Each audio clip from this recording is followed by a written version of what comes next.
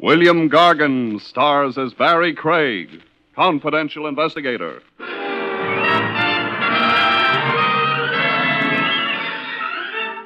There's a familiar saying which goes uh, give a rogue enough rope and he'll hang himself. The theory holds fine, except in one instance. What if the chap doling out the rope happens to be the hangman?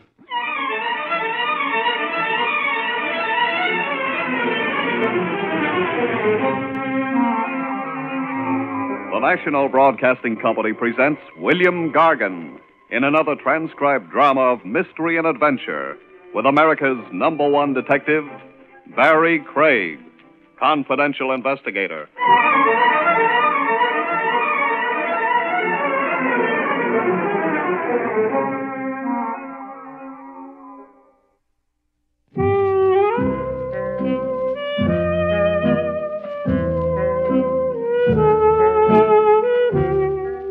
Barrie Craig speaking. A confidential investigator isn't always hired on his merits. His merits as a fact finder, I mean. Some clients choose you because they hope you're stupid.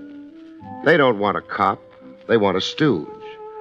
You're to be the front behind which they can keep a criminal operation going.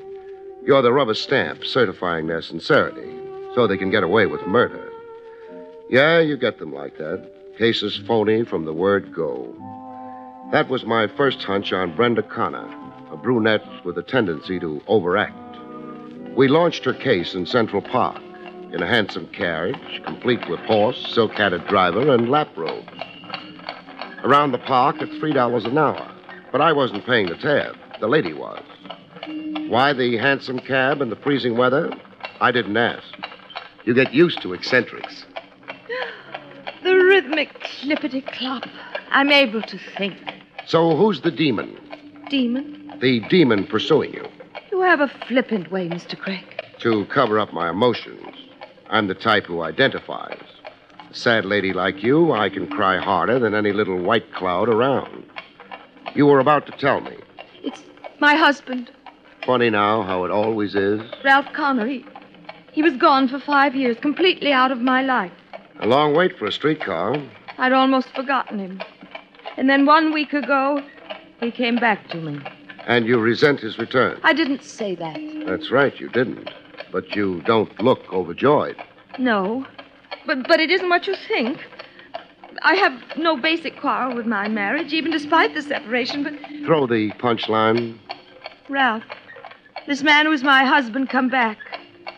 I'm not so sure that it is he.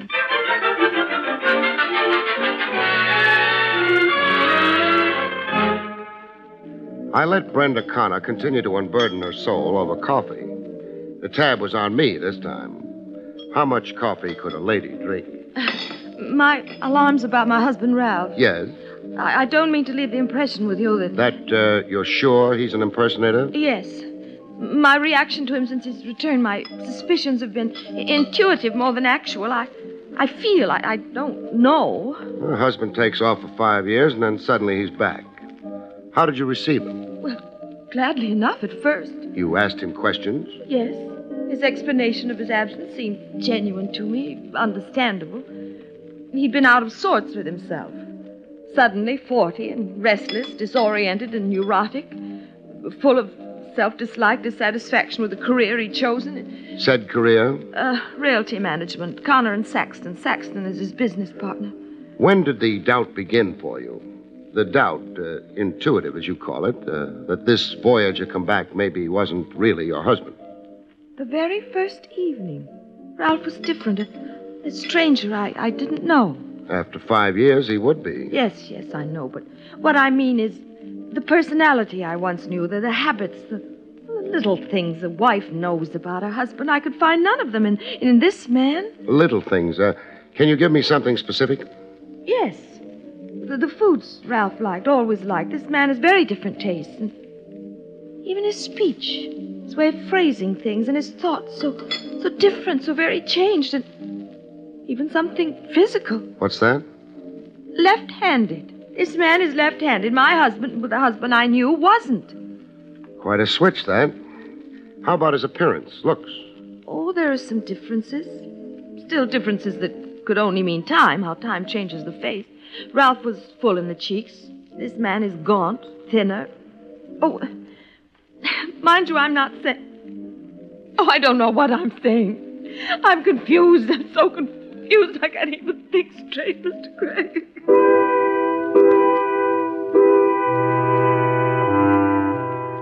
Hooray for confusion. But there was more to it than the lady was telling. There always is. I got a peek into what was omitted in the telling. The time was later that same afternoon. It was raining buckets. I had my formal tie on for a ride over to see the husband, Ralph Connor, firsthand. The great thing about a jalopy, it either starts or it doesn't. Mine wouldn't. Wet wires from the downpour, I figured. But my guess was wrong. There was a gentleman on hand to correct me on it. You'll only run your battery down, Craig. Get off the starter. A guy in a rain slicker slouched in the back of my car. Nice eyes and an easy grin, and a familiar swell near the left armpit. I knew what that swell was. I had one myself to match it a gun holster. The wires aren't wet, Craig. There's another reason she won't start. What's that? This. Here. Your rotor. Rotor? You don't know about cars? I know they go or don't go. The rotor belongs under the hood on the engine where the distributor is. I removed it. Why? So your car wouldn't go. Why again? So you'd bum a ride from me. Where are you parked? Right behind you. Come on, I'll chauffeur you. You sound like you know where I'm going. Yeah, I think so. See Ralph Connor. You want to look him over. You're well informed. I took courses in mind reading. Come on, I'll drive you. To Ralph Connor, this is? No, not right away. I've got something else to show you first. You're stalling, Craig. No, I'm thinking. About? The penalty for armed kidnapping. 20 years. Life if you cross state lines. That's the Lindbergh law. And the chair if you compound kidnapping with murder. So what's it to be, Craig?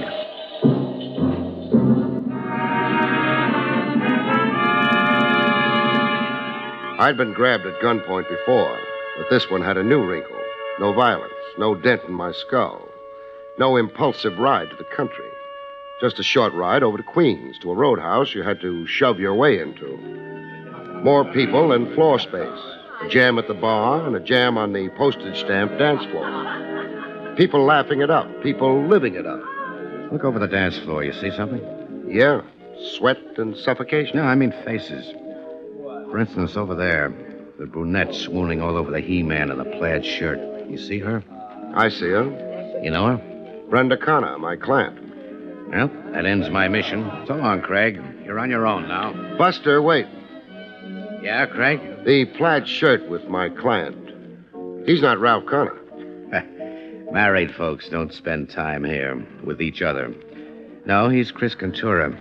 He's a tennis player. A tennis player? Love matches in the hot afternoon sun and love matches under hot blue lights with slender ladies with fat checkbooks. Is this why you brought me here? To show you a two timing wife so you discount half to 90% of what she told you. Look, uh, as long as we're talking. I've said all I want to. Uh, so you won't knock yourself out identifying me when I'm gone. Here's my card. So long again. The card he'd left with me read Mike Hassick, private detective. The guy who'd put the polite snatch on me was a private eye.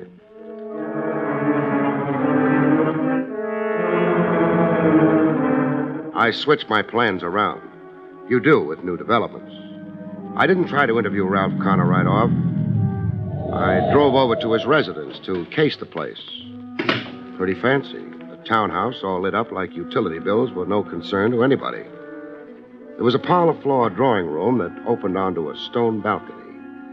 I was enough of a gymnasium genius to make the balcony without setting up too much of a commotion. After ten minutes of eavesdropping on the rustle of thick oriental carpets, I got to listen to a live show. Brenda Connor and a guy I took to be her ever loving mister on the other side of the glass. You've got that odd look again, Brenda. Look, Ralph. What odd look. The frail, pale princess in the grip of a nameless terror. Oh, you're being cruel deliberately Deliberately? to unnerve me. Push me to the edge of reason. Push me Beyond the edge. into insanity. Yes. I see. Now, suppose you try the shoe. I try the shoe. To see how it fits you. What's been your scheme with me? Scheme? I have no scheme. The terrified glances since my return, so nicely timed when company watches, so beautifully acted. And the way you contrived to look at me other times. The unfamiliar stares, if I were not your husband, but an interloper. Not an interloper, Ralph, but an, Yes, Brenda? an impostor. I see. Uh, I am not who I am. Is that what you're saying? Oh, what about me is so changed? I'd like to know, Brenda. Everything is changed. Your manner, your talk, your, your habits, so many little things. They're not like the Ralph I knew, the Ralph I remember. An impostor, that was your word. Do you then really think I am not Ralph Connor? That I am somebody else? Some diabolical somebody else playing at being Ralph Connor? I don't know. I don't know. It was time to get off the balcony and make a more formal entrance into the life of Ralph Connor through the front door. I started to do same when I had a mishap. Cute word, mishap. It can mean anything. It can mean a tear in your trousers from an unexpected nail. It could mean a ton of brass landing on your head. In my case, it meant the last mentioned a ton of brass. Ooh! It fell from a height, from upstairs somewhere with cannonball speed. What? Who? I was too sleepy to care. I just lay down.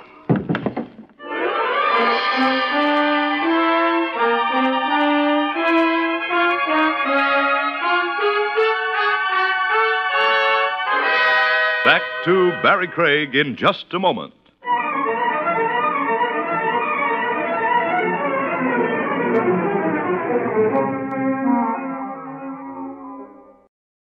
And now, back to William Gargan, starring as Barrie Craig, confidential investigator.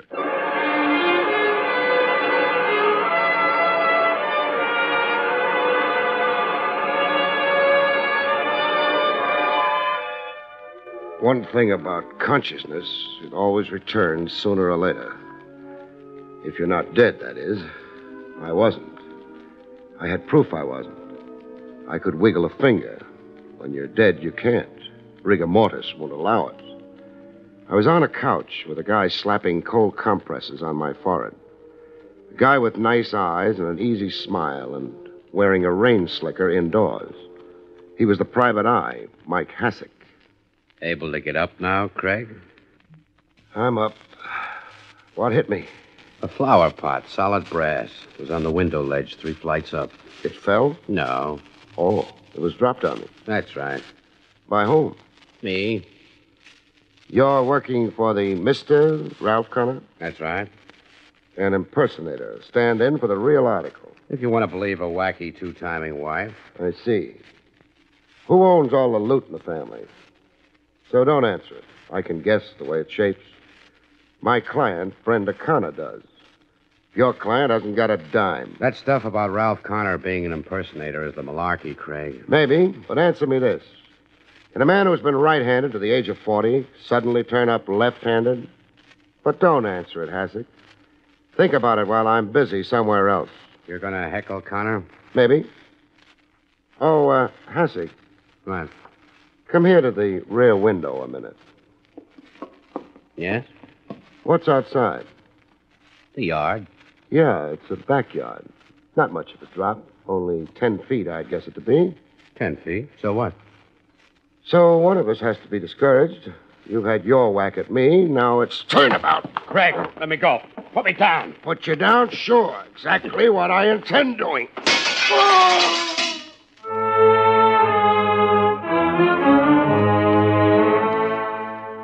You meet some guys sometimes who have to be paid back in their own coin. I didn't set up a talk with Ralph Connor. I passed him up a second time. I had nothing to say to him yet. Instead, I looked up Saxton of Connor and Saxton Realty Management.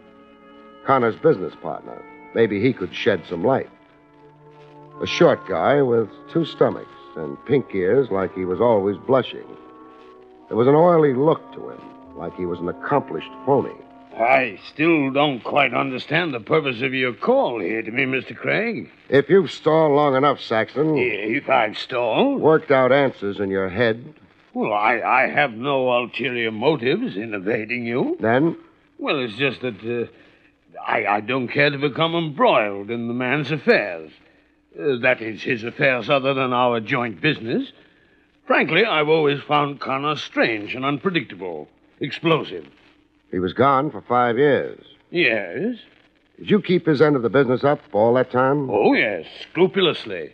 His share of the net profits were put into an escrow account uh, for what they amounted to. His uh, drawing account, of course, was suspended while he was gone. In the time he was away, did he write to you, keep in touch? Uh, no. Now, a big question. Is he Ralph Connor? Yes, Mr. Craig? You don't seem surprised at the question. No, no, I'm not surprised anymore. I, I've been asked the same question before. By whom? Two persons. By Mrs. Connor and by a private detective named Mike Hassick. So Hassick wasn't so sure of his client's identity either. Uh, what's that you said? Uh, just thinking out loud.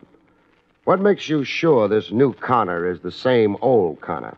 Why, everything about him. Like, Like, uh, well, I, I don't know how to answer that quite. He, he looks like Ralph Connor, facially and physically. He knows about me, our business, the, the background of our business. he's demonstrated all that to you? Why, uh, yes, yes, of course. He has demonstrated an intimate knowledge of our business. It, it couldn't be faked. Uh, the man simply had to know.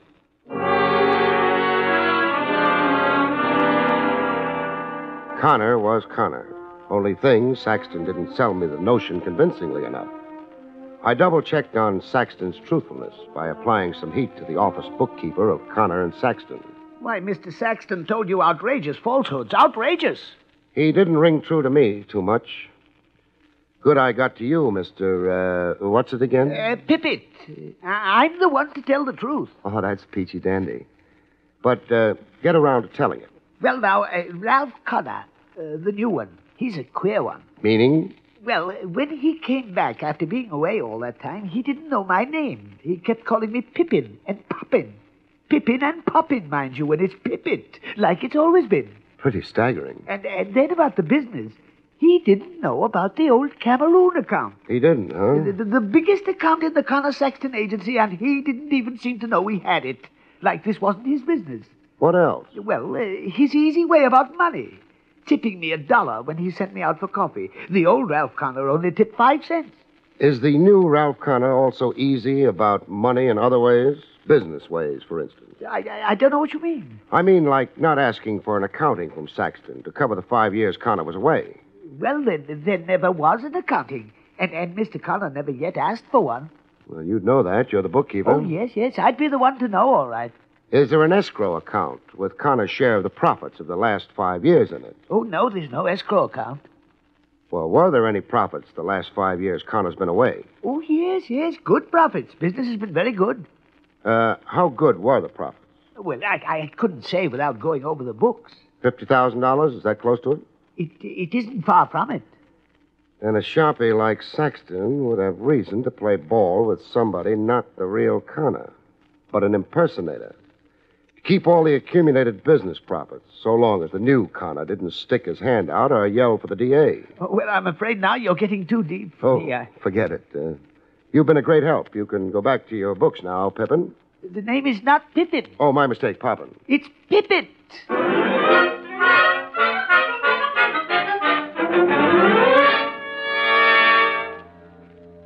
It was time to form an independent impression of Ralph Connor, I figured. The townhouse sat next door to the East River. I'd just gotten into the doorbell when I found myself doing some more eavesdropping. Nothing subtle this time. Anybody for a mile around could eavesdrop along with me. A scream has carrying power. A high pitched woman's scream. Brenda Connor. I could identify the voice. Brenda Connor at home, either being strangled to death or blowing her top. Inside the house, I didn't get to see my screaming client. She was in her room behind locked doors. The husband, Ralph Connor, told me the melancholy facts. Or do I mean the melancholy fiction? Brenda is in there in her room with her doctor. Doctor Who? Does that matter? It matters. I'm jotting it down in my notebook. Mrs. Connor is my client. Dr. Phipps. Uh, 275 Dartmouth Street, if you also want the address. Phipps is Brenda's own physician. I get your emphasis. When can I see Mrs. Connor? I don't know. She's under restraint. Restraints meaning She's had a nervous breakdown. all of a sudden. No, my wife has a history of, uh, say, emotional instability. Hallucinations, compulsive behavior, a fascination for um, unsavory places and people. That's a careful reference to the roadhouse and tennis Adonis. Mike Hassick made sure I'd see. Yes, so that you'd be aware of all the facts. Uh, this emotional instability in Brenda, it's one of the reasons I left her five years ago. I've had all I could stand of hysteria. You make a glib case of it. It's the truth. What happens to Brenda Connor from here on? Hospitalization. It's not the first time Brenda has been confined before. And cured? Evidently not, as this new breakdown shows. Comes the time she's declared mentally incompetent. Uh, who gets her money? That is an impertinent question. I'll answer it. You do. You step into her estate. I'll even bet you've already got the petition before the court with Dr. Phipps' affidavit pinned to it. I don't care to dignify this nonsense any longer, Mr. Craig. So if you don't mind, good night. On the street, I had an encounter with a guy who was making a habit of it. Stop a minute, Craig. What for, Hassick? A talk. Friendly talk. With a gun in my ribs? The gun's for my own protection. You play too hard. So do you. I have to. I'm in it for the cabbage, just like you. Speak only for yourself. You'll change your mind. A hundred grand. We split it down the middle. Who gives it to us?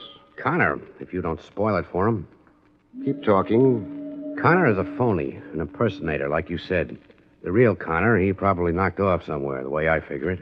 But none of our business. Now, this Connor grabs the wife's estate. We let him. You let him. Then the bite. He pays us off. We own him. You're sure of your facts? I checked. I sized everything up. Connor's a fake, a smart fake, and the winner. Let's win with him, okay? Why did Connor hire you in the first place, Hassick? To follow his wife around, report on who she saw, spent time with, that tennis player, you. So now tell me, you playing it smart along with me? What do you think? I think you are. Sure you are. what have you got against money? I played it smart, the poor man's way. I didn't go home and let Connor play out his scheme. I went back to Connor for a closer look at his scheme. You've become a frequent visitor, Mr. Craig. Every ten minutes. Uh, I realized out on the street that I'd said things in here to you that were out of line. I'm sorry. Forget it. Thanks.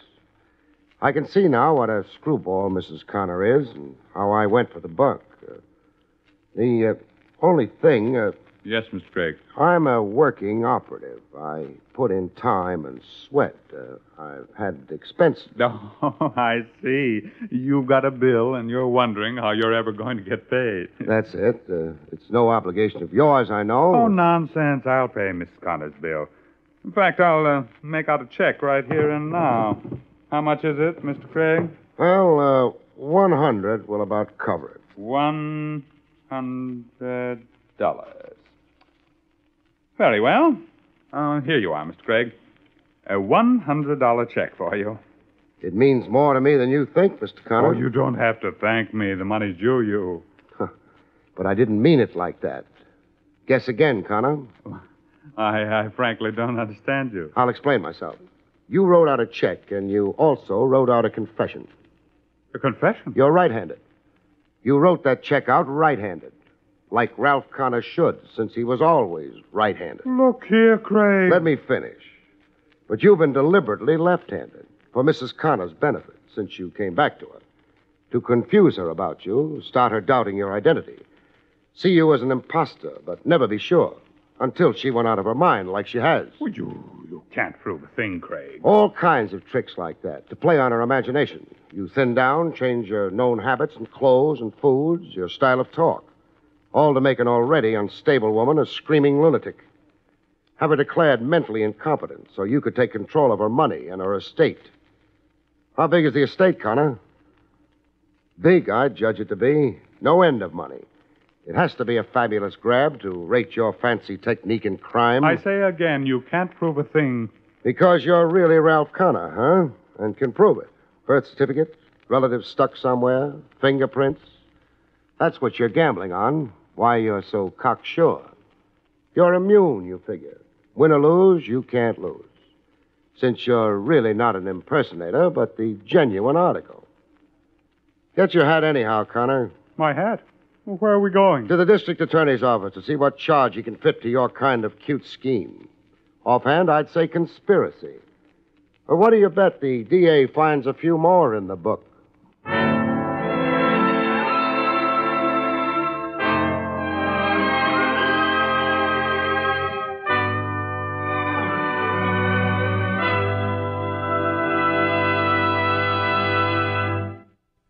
You have been listening to William Gargan in another exciting transcribed mystery drama from the adventures of Barrie Craig, confidential investigator.